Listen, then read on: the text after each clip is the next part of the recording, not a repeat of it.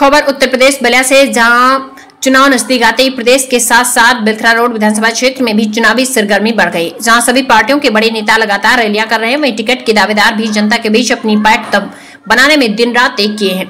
इसी क्रम में रविवार को बिलथरा रोड विधानसभा क्षेत्र के वरिष्ठ भाजपा नेता डॉक्टर मिलन प्रसाद ने जन विश्वास यात्रा निकालकर केंद्र व प्रदेश सरकार की उपलब्धियों एवं सरकार द्वारा चलाई जा रही महत्वाकांक्षी योजनाओं से जन जन को अवगत कराया। तथा अपनी ताकत का प्रदर्शन किया। जन विश्वास यात्रा में सैकड़ों बाइक शामिल रहे। जो क्षेत्र के गोठाई चट्टी से आरंभ होकर नगरा परसिया मालीपुर, तिरनई, चौकिया मोड़, उभाव, बिलथरा बाज़ार होते हुए रेलवे स्टेशन पहुंचकर समाप्त हुई। इस दौरान भाजपा नेता ने कहा कि केंद्र की मोदी तथा प्रदेश की योगी सरकार आम जनता के हित की योजनाएँ संचालित की है, जिसका लाभ सीधे लोगों तक पहुँच रहा है। तो वही योगी जी के नेतृत्व वाली सरकार में जहाँ भ्रष्टाचार से लोगों को छुटकारा मिला है, वहीं अपराध खत्म है गुंडे माफियाओं के खिलाफ सरकार कठोर कार्रवाई कर रही है। काहे कि सपा बसपा की सरकारों में, जहाँ भ्रष्टाचार से चढ़कर बोलता था, वहीं आम आदमी खुद को सुरक्षित महसूस नहीं करता था।